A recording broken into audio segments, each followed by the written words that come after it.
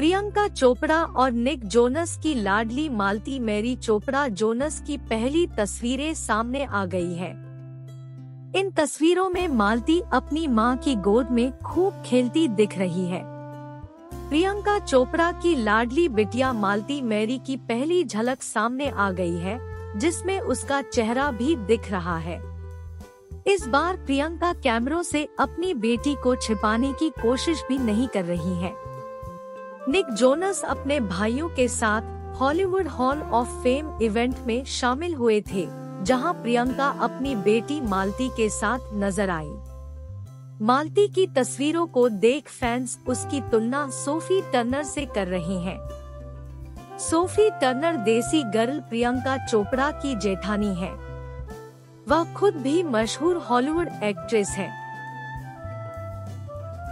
प्रियंका चोपड़ा ने इंस्टाग्राम पर इवेंट का वीडियो शेयर किया है। पापा निक स्टेज पर है, जबकि माँ प्रियंका की गोद में मालती खेल रही है।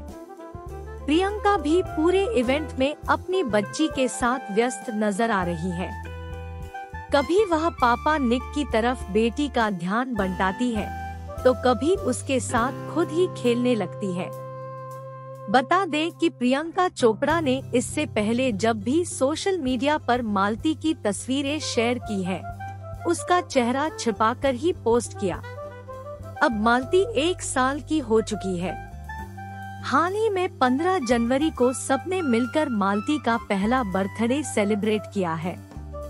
मालती की इन झलकियों को देखकर फैंस खूब सारा प्यार प्रियंका और निक की बेटी पर उड़ेल रहे हैं।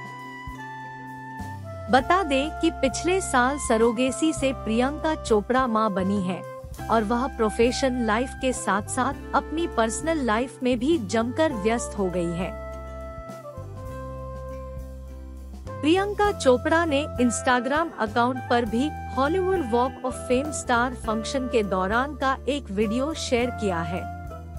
इस वीडियो में मालती प्रियंका की गोद में बैठी हुई है। और निक अपनी स्पीच के दौरान बेटी का नाम लेते हैं। ऐसे में प्रियंका मालती को अपनी गोद में खड़ा करके निक की तरफ़ इशारा करती है।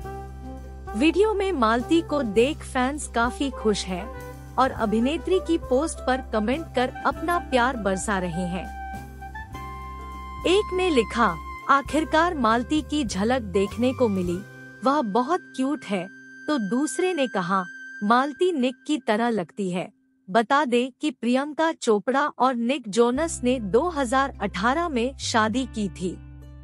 इसके बाद साल 2022 की शुरुआत में कपल ने सरोगेसी के माध्यम से बेटी मालती मैरी चोपड़ा जोनस का स्वागत इस दुनिया में किया। कुछ दिनों पहले ही मालती एक साल की हुई है और अब अभिनेत्री बेटी का चेहरा सबको दिखा दिया था। इससे पहले एक इंटरव्यू के दौरान प्रियंका ने बताया था कि उन्होंने मेडिकल कॉम्प्लिकेशंस के चलते सरोगेसी का रास्ता चुना था।